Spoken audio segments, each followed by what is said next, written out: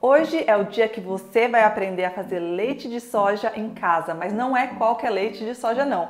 É um leite de soja digno de ser chamado de leite. Então já se inscreve no canal porque semana que vem eu vou estar ensinando como usar esse leite para fazer um tofu super fácil com dois ingredientes que você já tem na cozinha. Meu nome é Catarina Choi e agora vamos cozinhar.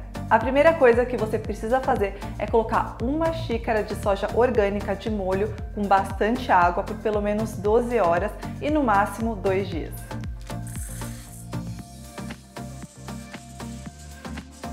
Eu deixei a minha soja de molho só um dia na água e olha o tamanho que ela ficou. Agora precisamos descascar a maioria dos grãos e para isso é só colocar bastante água na vasilha e apertando a soja que a casca vai saindo naturalmente. Daí você vai dar uma mexida nos grãos e na água e com a ajuda de uma peneira pequena ou com a mão mesmo, você vai tirando as cascas que ficarem por cima dos grãos. Agora retire toda a água e coloque a sua soja no liquidificador com 7 xícaras de água fervendo. No meu bule só cabem 5 xícaras, então eu vou ferver essas 5 xícaras, colocar no liquidificador com a minha soja e as que faltarem eu vou colocar depois na panela para ferver. Então veja quantas xícaras você consegue ferver de água e colocar no seu liquidificador, as que faltarem você coloca na panela depois.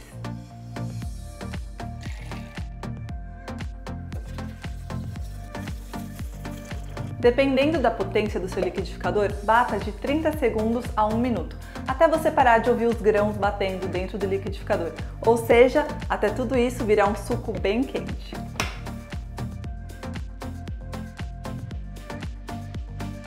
Agora espere até esfriar, ou se você estiver com pressa, como eu, passe a mistura ainda quente em um voal e com a ajuda de uma luva de forno de silicone forrada, esprema todo o suco, mas cuidado para não se queimar.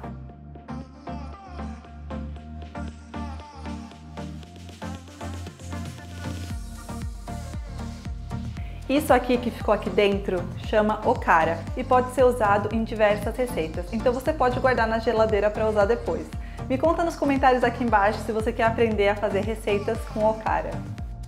Passe o suco todo para uma panela e se você for usar esse leite para fazer tofu, não precisa temperar e siga apenas o passo a passo do cozimento. Antes de temperar, agora é a hora de adicionar a água que estava faltando. Adicione uma colher de sopa de açúcar e um terço de colher de chá de sal.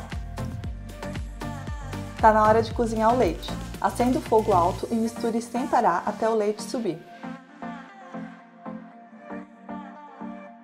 Então, abaixe o fogo e cozinhe por 20 minutos, mexendo de vez em quando para não grudar no fundo da panela.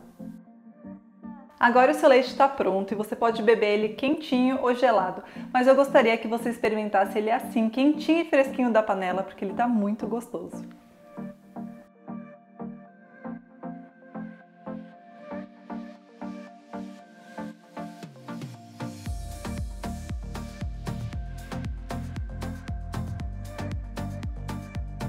Semana que vem eu vou ensinar a fazer um tofu com esse leite, então já se inscreve para você não perder essa receita super fácil com apenas dois ingredientes que você já tem na sua cozinha.